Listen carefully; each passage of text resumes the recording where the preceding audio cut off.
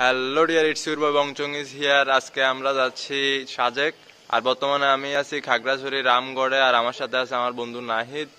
So আমরা পথে যা হয় এবং যেভাবে যাইতে হয় সবকিছু আমি প্রথম থেকে শেষ পর্যন্ত আপনাদের সাথে থাকব।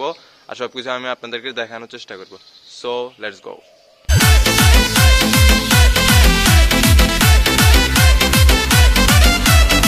এখন বাজে ভোর সাতটা দুই মিনিট।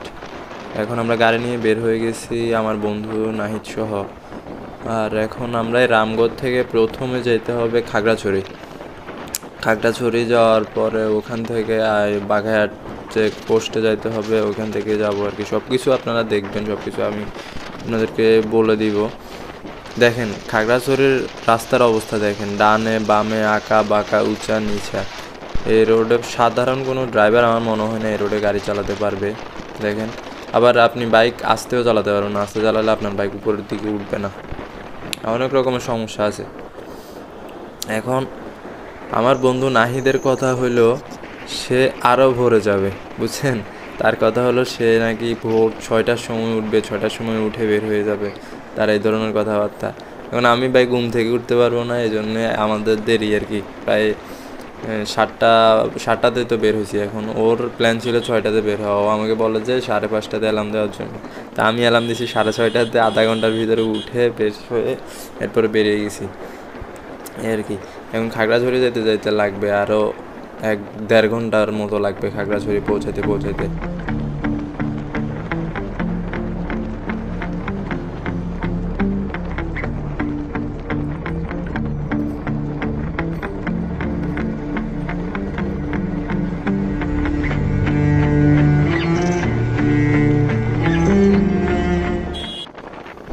প্রায় এক ঘণ্টা বিশ মিনিট বাইক রাইড করার পরে আমরা চলে আসছি খাগড়াছড়ি গেটে আর কি।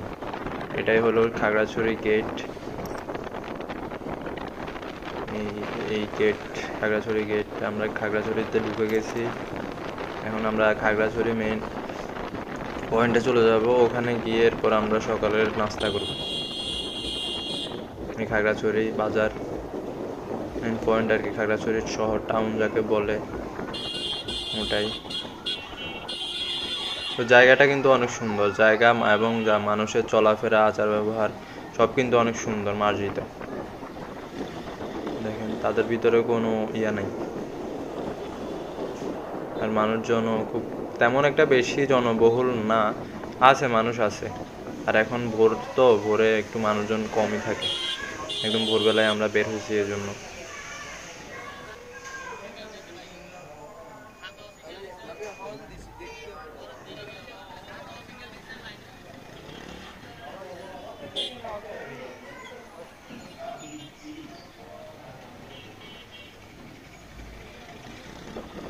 জায়গাটা অনেক সুন্দর। এই তো চলে আসছি আমরা সকালে ব্রেকফাস্ট করার জন্য। আসছি আমরা ফেনি হোটেল অ্যান্ড রেস্টুরেন্ট এটাতে আমরা এখন সকালের খাবার খাব। খাওয়া শেষে আবার কথা হচ্ছে। সকালের খাওয়ার শেষে আমরা আবার বেরিয়ে গেছি, এবার সাজেকের উদ্দেশ্যে। সাজেকের আগে প্রথমে আমরা যাইতে হবে বাগাইহাট জোন চেকপোস্টে তো চেকপোস্টে থেকে আমাদেরকে এগারোটার সময় সাজেকের উদ্দেশ্যে বের হতে দিবে। এখন প্রায় আরও এক থেকে দেড় ঘণ্টা বাইক রাইড করার পরেই আমরা মানে সাজেকের ওই বাগাইহাট জোনে যেতে পারব। So let's go Baghaihat checkpost পার করে এখন আমরা চলে আসছি সাজেক মানে সাজেকের মেন সাজেকের দিকে চলে যাচ্ছি। এখন আমরা ওই চেকপোস্ট পার করে সাজেকের রোডে ঢুকে গেছি এখন।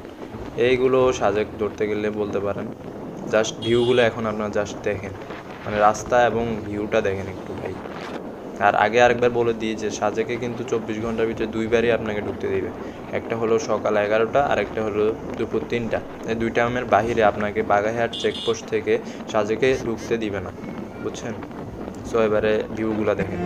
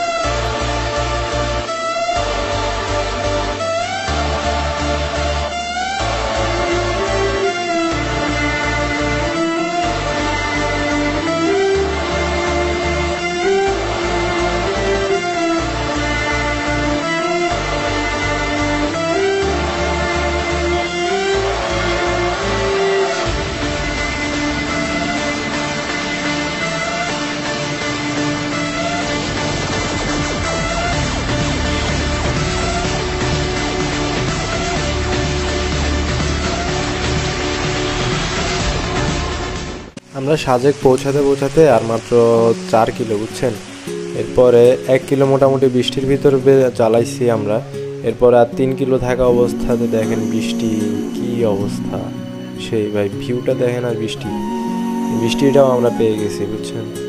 তো এখানে কিছুক্ষণ আমরা বিরতি দিই, এরপরে বের হয়ে যায় বৃষ্টির ভিতরে। বৃষ্টি নেমেছে হাঁটছি আমি মেঠো পথে। মনের ক্যানভাসে ভাসছে তোমার ছবি। বহুদিন তোমায় দেখি না যে। তোমায় অবশেষে চলে আসছি আমাদের রিসোর্টের সামনে। এটা না, এটা আমাদের রিসোর্ট না। ভিউটা দেখেন এগুলো অন্য অন্য রিসোর্ট আর কি এটা একটা রিসোর্ট যে দেখেন ভিউ জায়গাটা কিন্তু আসলে অনেক সুন্দর। সামনে যা যা দেখতেছেন এগুলো সবগুলো রিসোর্ট অন্যান্য রিসোর্টগুলো আর কি এই এই যে ডান সাইডের তিনটা রিসোর্ট দেখতেছেন, এইখানে মাঝখানেরটা হলো আমাদেরটা আর কি এই মাঝের রিসোর্টটা হলো আমাদেরটা। এটাই। আর এটা হলো আমাদের রিসোর্ট আর আমাদের রিসোর্টের রিসোর্টের নামটা ছিল কুড়েঘর রিসোর্ট আর এখানে যে ম্যানেজার ওনার সাথে আগেই মানে আমার যে ফ্রেন্ড ওর সাথে একটা ভালো সম্পর্ক আছে এই জন্য আমরা এখানে আসছি আর কি। ওইখানে আগেও আসছিল। ভাই, দেখেন জাস্ট ভিউটা দেখেন জানালা দক্ষিণের বাতাসে থেকে যায় পর্দার কখন তুমি এসে হেসে বলে দাও, আছি তোমার পাশে। আমরা এখানে আসতে আসতে অনেক দেরি হয়ে গেছিল এই জন্য খাওয়া দাওয়া শেষে একটু সন্ধ্যা নেমে আসতেছিল, তখন আমি, আমরা বের হয়ে যাই কংলাক পাহাড় দেখার জন্য, বুঝছেন? সো এখন কংলাক পাহাড়ের দিকে হাঁটতেছি, আর এই যে দেখতেছেন এগুলো সবগুলা রিসোর্ট আমাদের এই এই ওদিকে হলো ইন্ডিয়া মেঘালয়, বুঝছেন?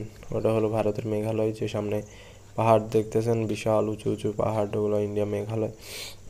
আর এই আমার সামনে যে ঘরগুলো দেখতেছেন, এগুলো সব রিসোর্টের সামনে নিচে যে ঘরগুলো দেখতেছেন, ওগুলো রিসোর্ট ওগুলো আরও সুন্দর হবে। ওগুলো এখনও চালু হয় নাই মানে এখনও কাজ চলতেছে। এই এটা একটা রিসোর্ট অনেক সুন্দর রিসোর্ট এখন চলে আসছি কংলাক পাহাড়ের নিচে মানে পাদদেশে। মানে একবারে কংলাক পাহাড়ের নিচে আছি এখন। এরপরে পরে হেঁটে হেঁটে উঠতে হবে। দেখেন সবাই উঠতেছে নামতেছে এরকম আর কি। আমরা আসা আস্তে আস্তে একটু দেরি হয়ে গেছে প্রায় সন্ধ্যা হয়ে গেছে এখন। তো সন্ধ্যার সময় উঠতেছি আর কি। বেশি একটা ভালো ভিউ হবে না। এটা তো আমার দাদা। এটা হলো ওই দাদা আর কি। দাদা বলতে আমাদের কটেজের ম্যানেজার আর কি উনি। উনিও মারমা আদিবাসী। আর উনি উনি ছিলেন আগে ইয়াতে মেঘালয়ে। তো এখন বাংলাদেশে আছে এই কটেজে আছে উনি। আজকে অনেকটা সময় বা ছয় মাস হয়েছে উনি এখানে আসে সো উনি আমাকে মানে ঘুরাই ঘুরাই দেখাইতেছে আর কি সব কিছু এই হলো কংলাক পাহাড় উঠতেছি আর কি আমরা। দেখতে থাকেন।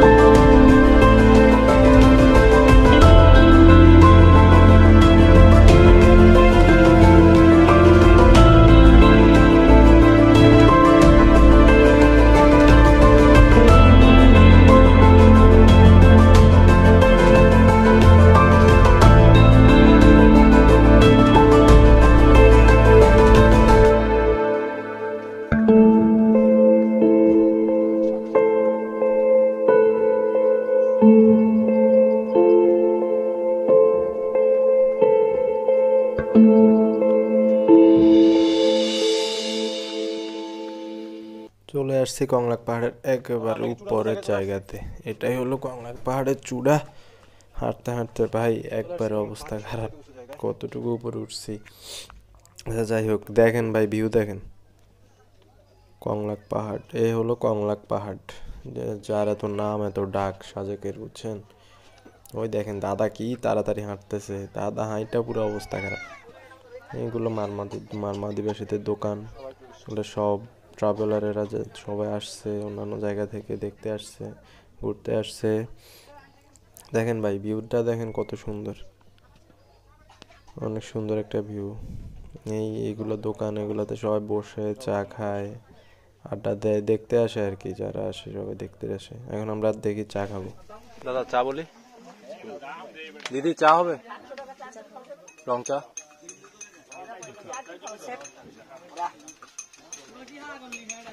এখন দিদির হাতে রং চা খাব এদিকে আছে আমাদের দাদা। হ্যাঁ।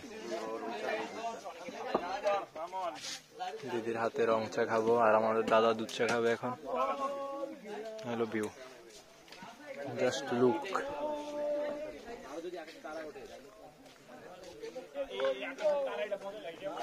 লুকটা দেখেন, ভাই। পাহাড় থেকে পড়লে, দাদা কোনো অস্তিত্ব পাওয়া যাবে না।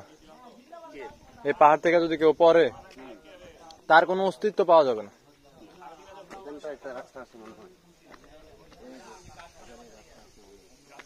কোথায় যায় এটা দিয়ে? বুঝছি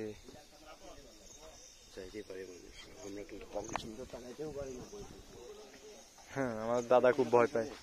রাখো না ওইখানে আসতেছি আমি।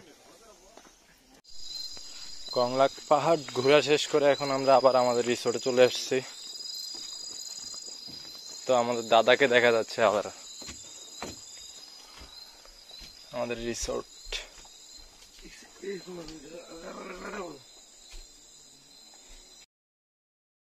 সাদা আকাশে মেঘের বেলা।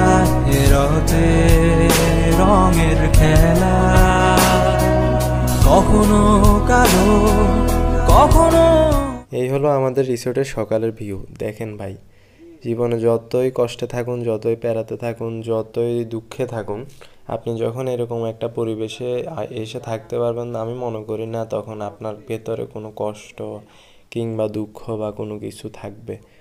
স্বাভাবিকভাবে আমা- আমাদের সকলের দুঃখ থাকে, এখানে আসলে আর তা থাকার কথা নয়।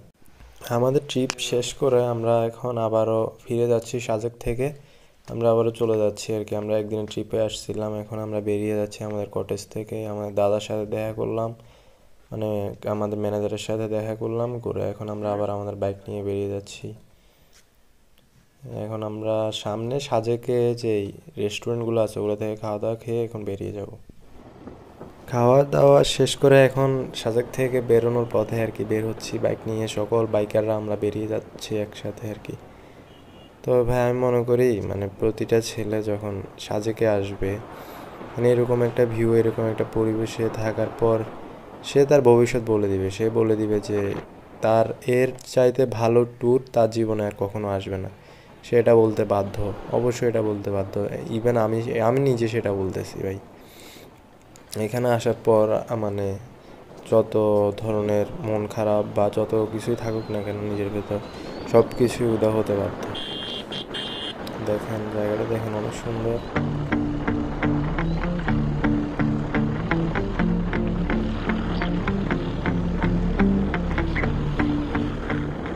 এটা হলো যাওয়ার সময় চেকপোস্ট এখানে সবাই ওয়েট করতেছে মানে যারা আসতেছে তারা এটা পার হওয়ার পরে আমাদেরকে এখান থেকে বেরোতে দিবে আর কি দেখেন, মারমা বাচ্চারা কীভাবে ফল বিক্রি করতেছে। সো এখন সাজেক থেকে বেরোনোর পথে ছিল আমার সাজেকের ট্রিপ মানে অনেক কিছু আপনাদের সাথে শেয়ার করছি, আবার অনেক কিছু পারি আজকে পর্যন্ত। ভবিষ্যতে আবারও একটা ব্লগ নিয়ে আপনাদের সামনে হাজির হব। আসসালামু আলাইকুম।